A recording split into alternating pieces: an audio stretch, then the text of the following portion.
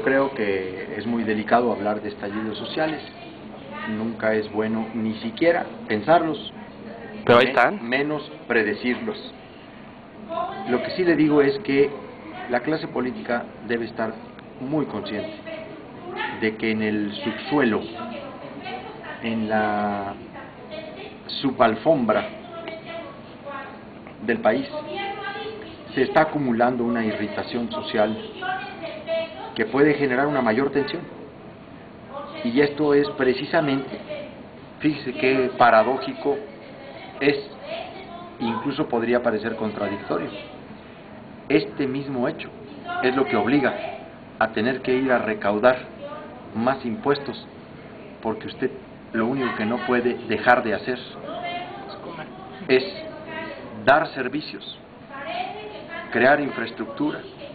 No puede despedir ni policías, ni maestros, ni médicos, ni dejar de construir escuelas, ni hospitales.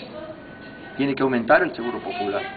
Es precisamente para que no siga incrementando esa tensión social.